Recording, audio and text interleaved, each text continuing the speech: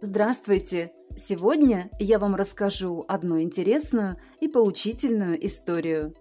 Как часто прохожие идут мимо бездомных и попрошаек, притворяясь, словно их не существует. Как правило, такие люди практически невидимы для общества, да и для нас с вами. Более того, поведение, которое отличается от привычного нам, вызывает у окружающих искреннее удивление – Официантка из техасского ресторана по имени Мария отступила от привычек, даже несмотря на то, что по правилам этого ресторана работникам запрещалось кормить бездомных, и ей предстояло заплатить за еду из своего кармана. В один прекрасный день на пороге ресторана появился бездомный, небрежно одетый и грязный.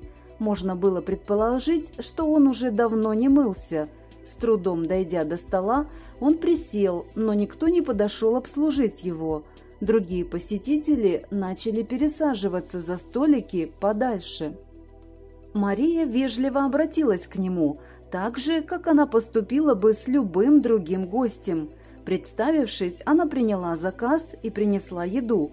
И гости, и другие работники ресторана удивленно наблюдали за происходящим – Менеджер напомнил Марии, что если у гостя не окажется денег, ей придется заплатить за него самой. Та согласилась. Необычный гость доел, попросил счет и заплатил за него. И не просто заплатил, а оставил под тарелкой 100-долларовую купюру на чай. Никто и подумать не мог, что у него окажутся такие деньги – но еще больше всех удивила записка с выражением признательности за радушие, которое проявила Мария по отношению к другому человеку. «Вы отыскали секрет счастья. Доброта будет и дальше вести вас по жизненному пути», – написал гость. «В чем же дело?» Этим бездомным оказался владелец ресторана, одевшийся так специально, чтобы оценить качество обслуживания и блюд в своем заведении. Едва ли это могло кому-то прийти в голову, а Мария продемонстрировала, что к любому человеку, кем бы он ни был, стоит относиться с максимально возможным уважением.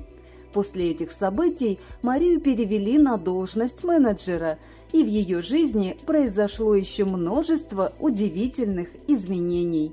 Проявляйте заботу о себе и будете здоровы!